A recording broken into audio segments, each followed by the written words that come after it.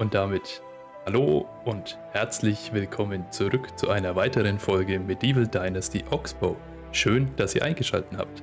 Ja, beim letzten Mal hatten wir ein paar Leute noch ins Dorf geholt. Da hat uns noch ein Häuschen gefehlt. Das gilt es jetzt möglichst schnell aufzubauen. Und ich glaube, mit meinem Feld war ich fertig mit dem Großen, so dass ich jetzt eigentlich hauptsächlich erstmal das Häuschen für meinen einen Dorfbewohner fertig machen muss, weil man sieht schon, oben links, der hat weder Haus noch Essen noch irgendwas. Damit geht's gleich weiter. Okay, dann nehmen wir uns hier den Bauhammer mal in die Hand. Habe ich da noch einen an der Hand? Wo ist der? Wo ist der? Hab ich, hab ich, hab ich, hab ich ja. Der 4. Was brauche ich? Ich brauche Holz, da habe ich keines und dann natürlich jede Menge Steine. Wie sieht es in meinem Inventar aus? Habe ich Platz? Ich habe schon so ein bisschen Platz, aber nicht unendlich viel. Ah ja, den kleinen Holzbär habe ich noch, den kann ich nur abgeben. Steine habe ich ein paar. Aber hauptsächlich bräuchte ich hier mh, hm, noch mehr Holz. Holz und Steine. Das heißt, ich gucke mal, was wir hier finden. Bisschen breitwigerig kann man immer gebrauchen, den nehme ich mit, aber hauptsächlich geht es mir um Steine und um Holz. Das heißt, wir nehmen hier mit, was wir an Steinen erstmal kriegen, dass wir möglichst schnell das Häuschen von dem Dude fertig kriegen. Und der nicht unser Dörfchen wieder verlassen wird, weil er kein Zuhause hat. Das wäre tatsächlich sehr tragisch und schade. Das muss nicht sein. So, hier ein paar Bäumchen, die backen wir noch mit um. und lassen uns im besten Fall davon nicht erschlagen. Das wäre immer sehr tragisch. Das hatte ich schon. Ah, auf den Stein kann ich verzichten. Nee, hat noch geklappt. Weil so ein Teil, wenn die einfach auf die Bühne fällt, dann bist du kaputt. Das wissen wir mittlerweile. Das haben wir ein, zwei Mal getestet. Das geht eher für einen selten gut aus, von daher gesehen. Da lassen wir mal die Finger davon. Steine sammeln wir mit ein. Aber ich glaube auch mit den drei Bäumen, die ich jetzt hier habe, da kriege ich zwölf Stämme raus, wenn es schöner Ahorn ist. Das wird noch nicht ganz reichen. Ich glaube, da muss ich noch ein bisschen mehr zulegen und ein paar Meter weiterlaufen. Aber, mein Gott, alles zu seiner Zeit. In dieser Jahreszeit kriege ich es auf jeden Fall fertig und so lang wird er, denke ich, schon noch aushalten und nicht gleich sofort Reis ausnehmen. So, Steine, Steine, Steine. Den Baum nehmen wir auch noch mit und dann verbasteln wir erstmal das, was wir hier haben. Das Grundgerüst reicht auf jeden Fall. Aber ich glaube noch nicht, dass es genug Blätter werden, Ah, da haben wir schon wieder Le Malheur. Gut, die Axt ist Flück. Ich gucke vorher nochmal, ob ich zufällig in meinem ganzen Ressourcenlager oder in meiner persönlichen Truhe noch eine Axt rumfliegen habe, an die ich mich gerade nicht erinnern kann. Deswegen bauen wir erstmal mit den Sachen, die wir haben, hier weiter und schauen, wie weit ich damit komme. Naja, gut, aber mit 8 Holzstämmen wird nicht ganz ausreichen, aber gut. So, bearbeiten. Wir brauchen eine Wand aus Stein, eine Wand aus Stein. Die wieder schön einfach mit bearbeiten.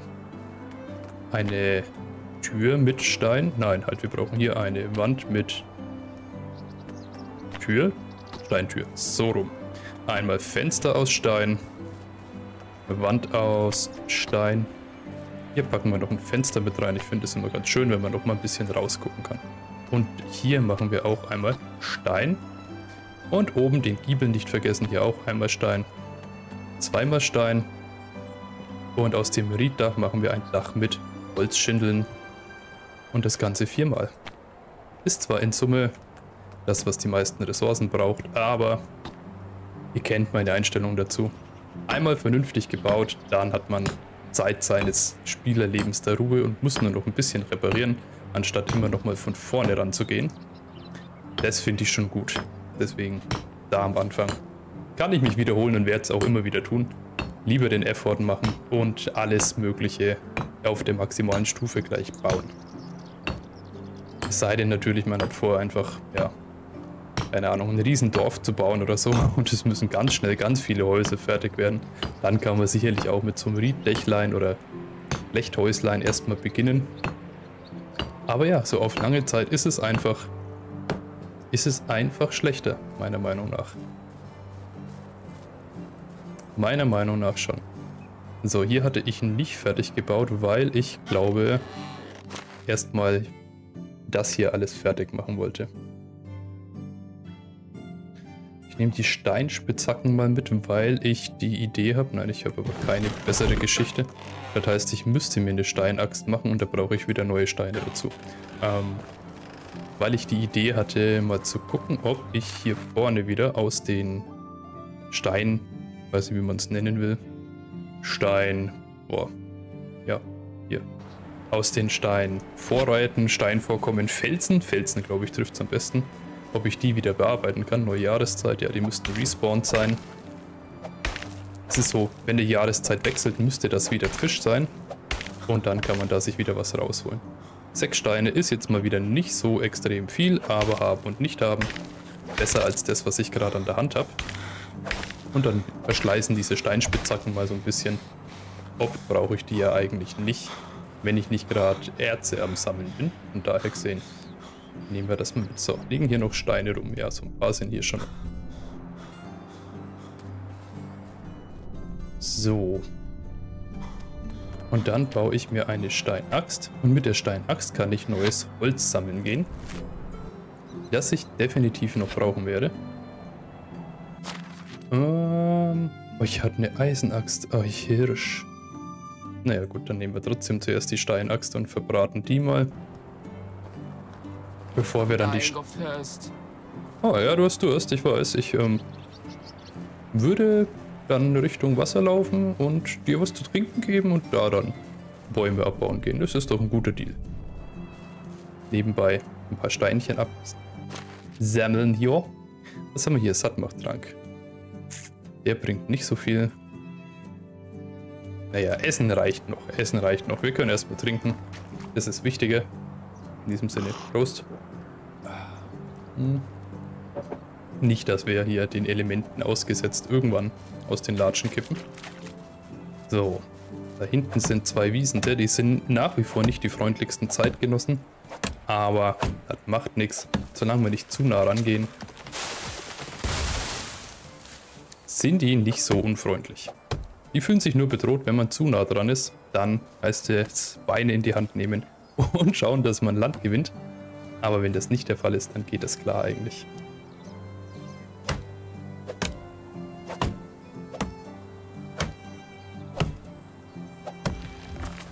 ist das hier eigentlich? Nochmal ganz kurz gucken. Einstellungen, Graphics. Doch, doch, doch, passt schon. Hatte kurz gedacht, ich könnte bei den Wassereffekten noch was einstellen, aber da gab es nichts mehr, was ich optimieren könnte. Okay, dann habe ich eine neue Fertigkeit in der Gewinnung erhalten.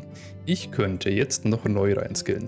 Chance auf zusätzliche Rohstoffe beim Abbauen von Stein, Salz und Erzen. Ich kann 5 Kilo mehr tragen, also insgesamt 15 Kilo mehr tragen, was auch schon ziemlich nice ist.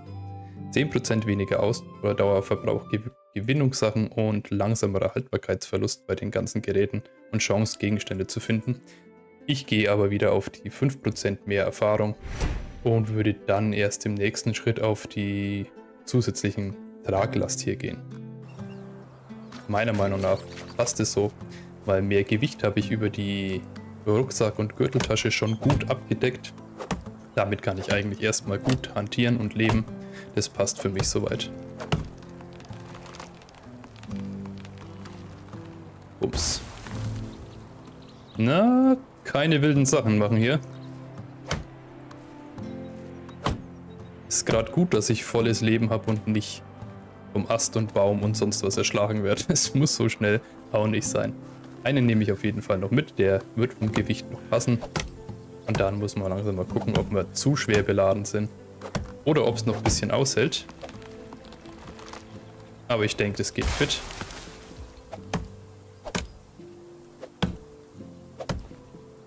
Eins,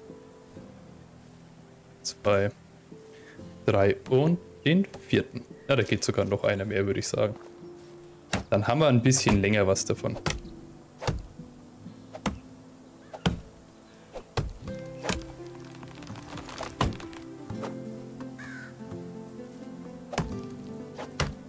So, einmal, den nehmen wir hier direkt aus dem, ja aus der Luft will ich nicht sagen, aber vom Stamm hier in Fort weg.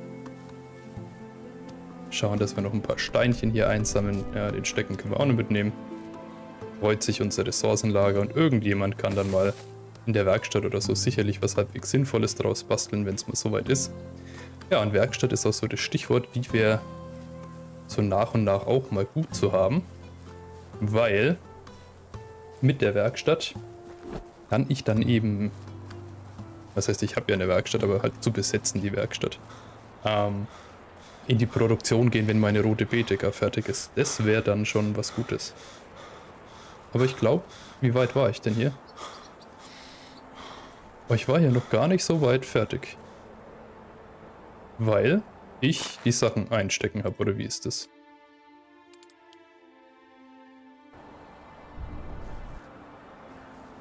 Wo, Mensch? Wo ist denn meine Hacke? Hacke, Hacke 2.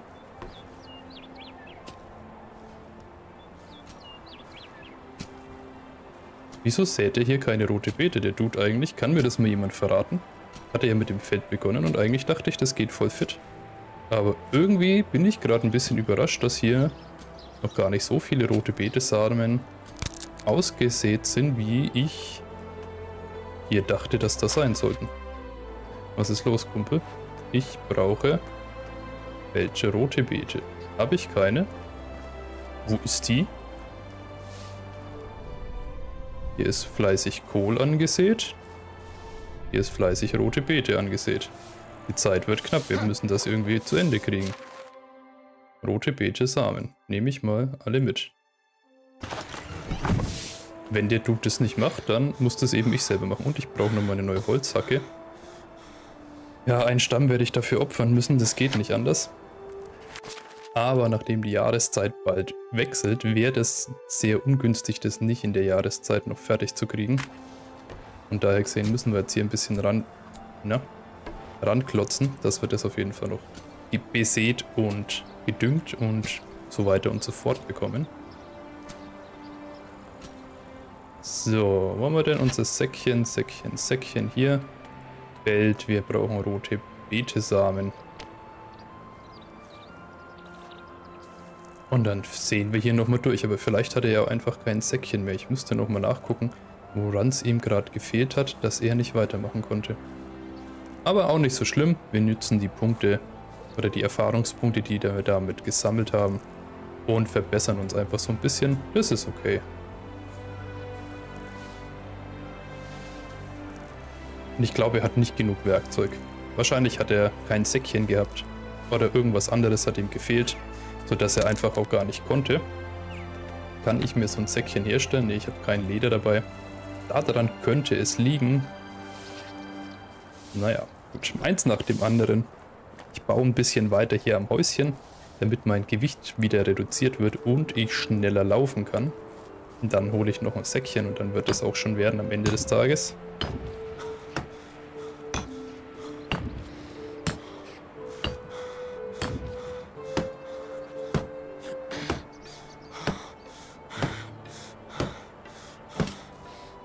Oh Gott, nee, jetzt habe ich hier eine falsche Wand gebaut. Zerstören. Bauen. Bearbeiten. Mit Fenster, Steinwand. Oh, das ist ein bisschen ärgerlich, aber gut. Ein Teil der Ressourcen habe ich jetzt zurückgekriegt. Den Punkt habe ich zum Glück schon mal mitgeskillt gehabt. Für den Falle, dass mir sowas mal passiert. Oder ich zukünftig mal irgendwas anders machen wollte.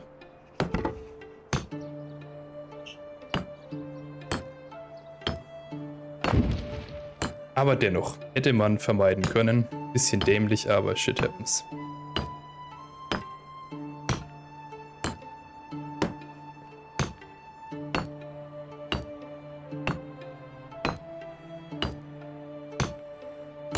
So, hier fehlen nur noch Steine. Wie schaut es am Dach aus?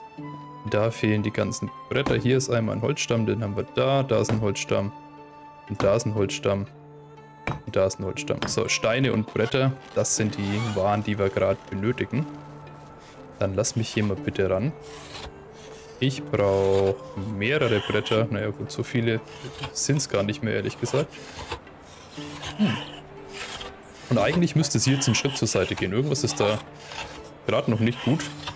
Eigentlich dürfte da immer nur einer arbeiten können. Aber gut. Lassen wir mal so.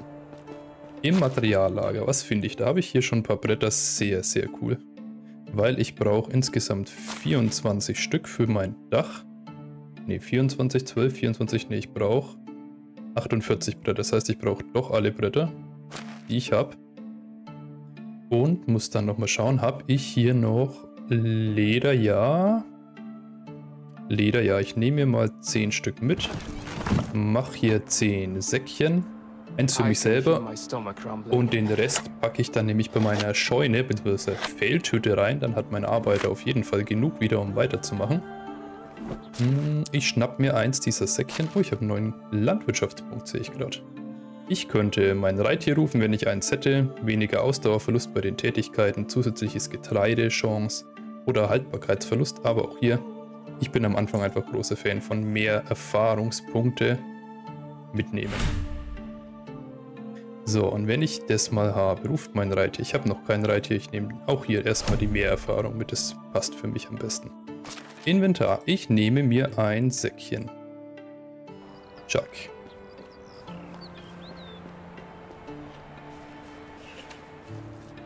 Ah ja, du hattest Hunger. Ja, ich hätte dich auch noch kurz versorgen können. Sorry. Aber das wirst du kurz aushalten. Bin mir ziemlich sicher, dass das wird. Ja, ja, the taste of food. Gleich gibt's was. Erst die Arbeit, dann das Vergnügen, heißt so schön.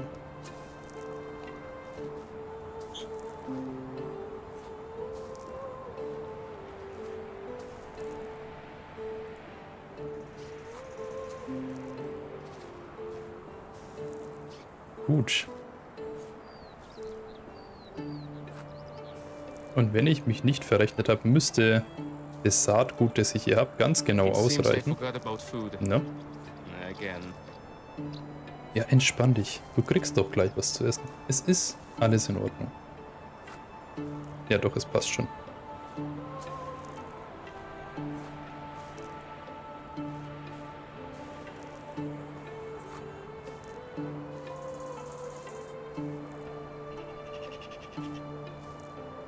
So, hatten wir das erledigt, habe ich hier noch ein paar Steine in der Nähe.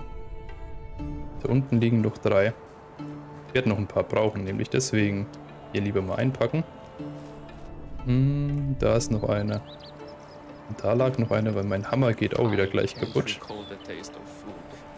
Das ist so ein bisschen unangenehm, aber es ist wie es ist. Von daher kann man nichts machen, außer das so annehmen, wie es ist. So, jetzt kannst du hier Werkzeuge haben. Du bekommst von mir einfaches Säckchen, neun Stück, das eingebrochene und auch die Holzhacke, wenn die nicht komplett kaputt ist. Kriegst du auch noch, brauchst noch ein paar mehr, das weiß ich schon.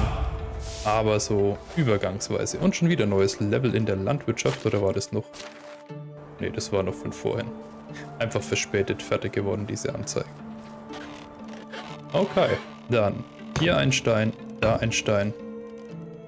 Und ah, es wären genau passend vier gewesen. Dumm die dumm. Ein Holzstamm habe ich leider nicht mehr. Das ist ein bisschen ärgerlich, aber it is how it is. Ja, du kriegst jetzt was zu essen. Entspannen dich. Guck mal. Gebratenes Fleisch, sechsmal. Chuck. Kriegst du hier zum Essen.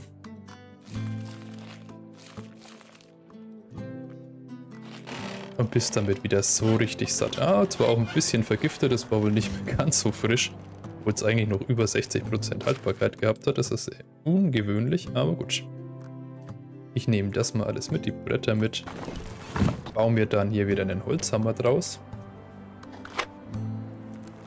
Mhm.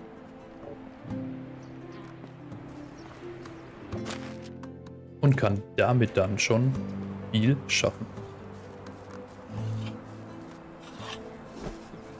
So, Kollege, gleich gibt's dein Zuhause.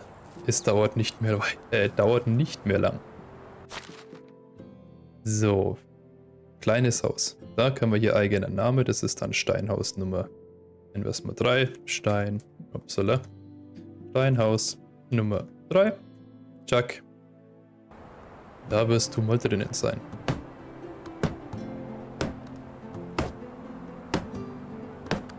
Fehlt nur noch dein Dach.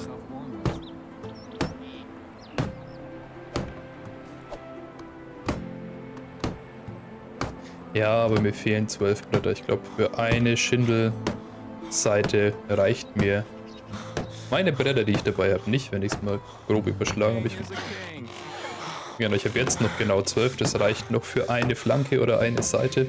Also zwölf Bretter brauche ich nochmal.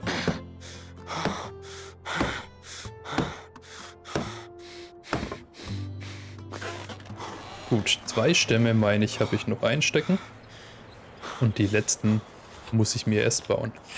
Bretter.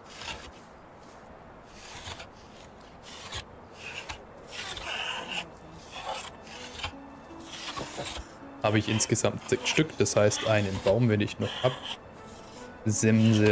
Umhau. Warum ist er denn die Axt hier? Das ist wieder ganz wild sortiert, weil ich unterwegs gewesen bin. Und dann meine ganze Sortierung immer sehr, sehr durcheinander ist, wenn ich mich eher darauf vorbereite, in kämpferische Handlungen verwickelt werden zu können. Naja, das ist nur jetzt so der Nachteil, wenn man im näheren Umfeld erstmal die Sachen alle abreißen muss. Ähm, dass die Wege länger werden, bis man Holz findet. Aber es kann auch sein, einfach, dass der NPC ranläuft und hier weiter im erlaufbaren Bereich die Bäume wegmacht. Das ist durchaus im Rahmen dessen, was möglich ist. Ja, wenn es blöd läuft, reicht mir jetzt leider auch meine Steinaxt hier nicht mehr für den einen Baum. Könnte sich knapp nicht ausgehen. Aber ich habe den Eisenaxt noch einstecken, fällt mir gerade ein. Bevor ich die wieder nicht benutze. Ja, da ist er auch kaputt. Und jetzt müsste ich hier eine Eisenaxt haben. Irgendwo. Eisenaxt hier. Die habe ich gefunden. Die macht nicht nur mehr Schaden, die hält auch länger. Dann kann man hier guten Gewissens auch noch den zweiten Ahorn umsetzen. Aber wie schnell das jetzt geht im Vergleich. Voll krass. Einfach bam bam, drei Schläge oder so. Fertig ist der Lack.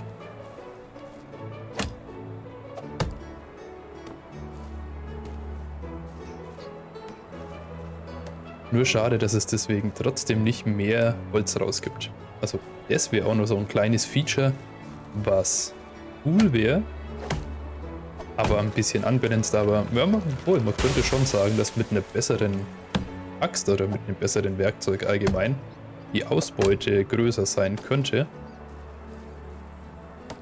Aber ist es jetzt nicht, ne? So, nochmal ein Stein, breitwegerig zum Heilen, nochmal ein Stein. Und dann nochmal zurück ins Dörflein.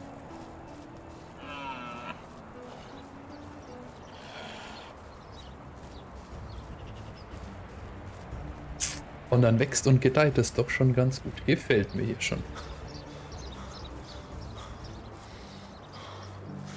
Das gefällt mir schon. Es nimmt schon Gestalt an. Und auch so diese Rohbausachen, wenn es noch nicht alles so richtig perfekt ist, finde ich, ist schon auch gut.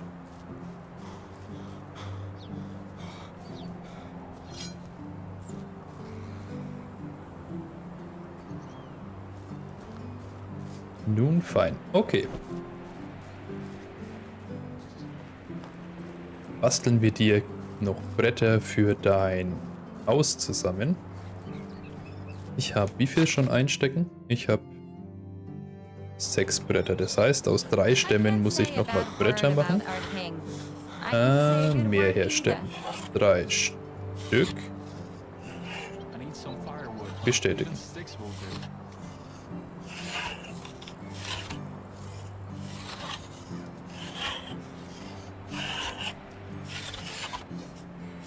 Okay, damit haben wir zwölf Bretter. Und machen das letzte Element vom Häuschen zu Ende. Und dann kann der hier einziehen und sich freuen.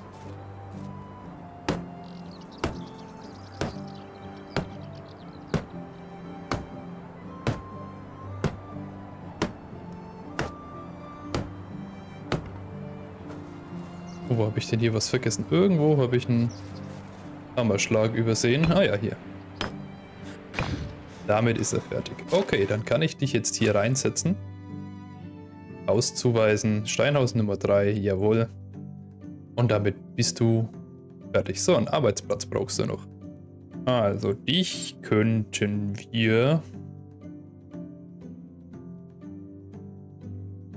Ja, in die Werkstatt schicken.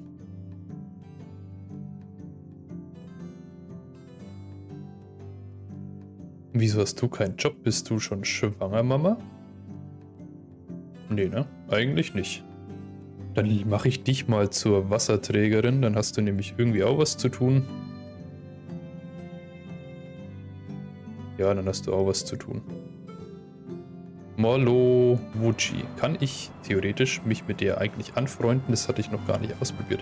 Was ist mit den Damen aus unserem Dorf, die wir hier schon eingeladen haben und die tendenziell woanders wohnen? Kann man die auch noch umwerben oder ist es dann für immer vorbei?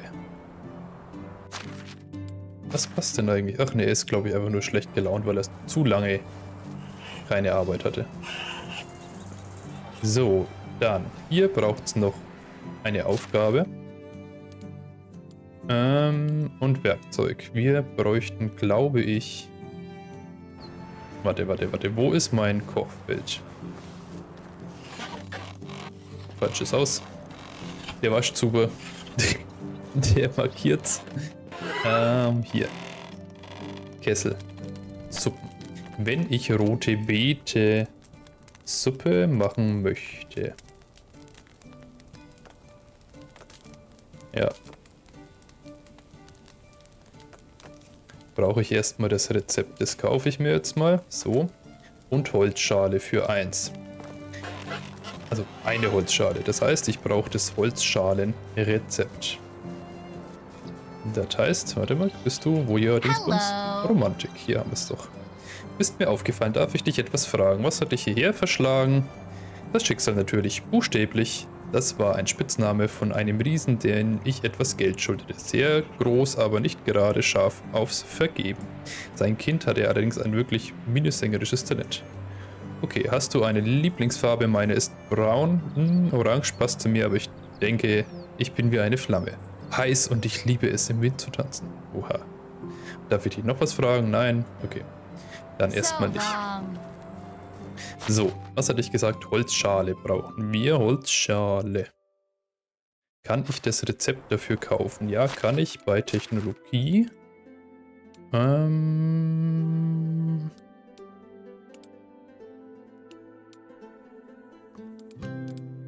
Werkstatt. Holzschale. Gekauft. Das ist zwar ein bisschen lästig, dass man das so ja, kaufen muss, aber es ist so. Kannst du nichts machen.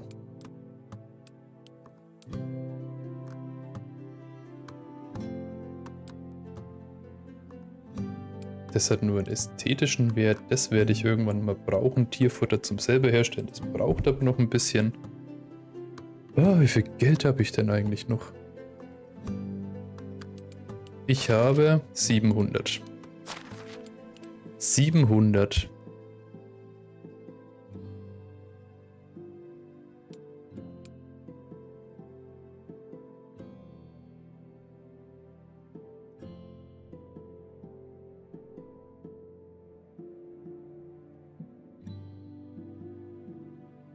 Ja, ich kaufe mir schon den.